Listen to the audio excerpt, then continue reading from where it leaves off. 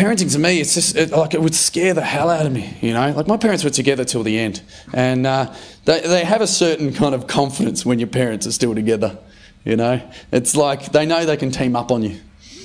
If you're the son of parents who are still together, you know you've heard the line, "Oh, you're bored, are you? You're bored. Why don't you go play out in the road?" Why don't you go do that? That'd be fun, wouldn't it? Why don't you go tackle some cars and then just high five the other parent? nice. They're a bit more blasé. They don't care. Something could happen to you. It's not really an issue. They're still together. They can make another you.